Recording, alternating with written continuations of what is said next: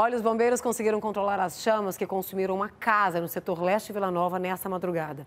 O fogo consumiu todo o telhado e tudo que estava dentro da residência. Olha na reportagem. Os moradores da rua 205, no setor leste Vila Nova, em Goiânia, acordaram assustados com os barulhos na rua durante a madrugada. Imaginei que o fogo era na parte de cima quando eu acordei, mas não era, era na parte de baixo. O vizinho da, da casa de baixo arrumou a mangueira para a viatura do Corpo Bombeiro da caminhonete começar a apagar o fogo até o caminhão chegar. Era por volta de 4 horas da manhã quando o incêndio teria começado aqui nessa casa. Um cômodo, um barracão de aproximadamente três cômodos, que a gente consegue perceber pelas informações que foram repassadas pelo Corpo de Bombeiros que entrou dentro do local para poder apagar as chamas. A gente percebe aqui na porta ó, muito lixo, né, materiais recicláveis, pedaços de roupa, né, e boa parte também dos estilhaços do teto que caiu devido a esse incêndio que aconteceu aqui. As informações ainda do que teria causado esse incêndio serão apuradas, porque segundo um morador desta casa, um homem de aproximadamente 46 anos que seria catador de material reciclável, ele morava morava sozinho e a casa não tinha nem água nem energia. E ele teria inclusive saído da casa durante a madrugada para buscar água para poder ele usar, né?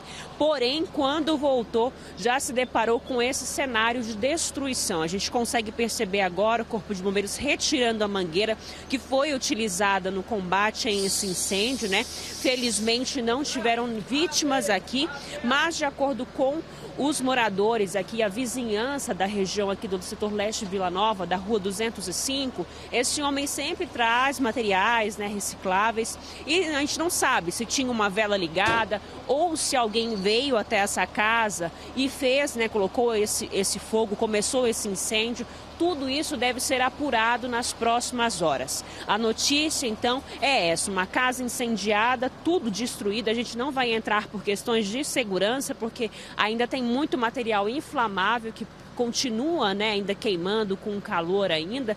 O fogo já foi apagado, mas é, não existe também a possibilidade de começar um novo incêndio, mas por segurança a gente não vai entrar no imóvel. Mas um incêndio que chamou a atenção de toda a vizinhança, inclusive assustou os moradores que estavam dormindo. Mas o Corpo de Bombeiros fez um trabalho aqui e conseguiu eliminar essas chamas, né, apagar esse fogo e evitar até mesmo que essas chamas se propagassem e afetassem as casas vizinhas. No momento da chegada da corporação ao local, a gente já se deparou com as chamas bastante altas saindo pela parte de cima da casa, ou seja, pelo telhado, que não existia mais. Havia relato de que pessoas moravam nessa residência, então a nossa primeira preocupação, além da segurança da cena, foi procurar por essas vítimas, sendo que numa primeira procura a gente não encontrou. As causas do incêndio ainda serão investigadas. A causa do incêndio para a gente ainda não está muito clara, até porque depois que há incêndio precisa ser feita uma perícia, né? É, para se determinar os reais causas desse incêndio. Uma questão também que a gente não pode descartar até mesmo incêndio criminoso de alguém que tenha entrado, já que o morador disse que não estava na casa. Né?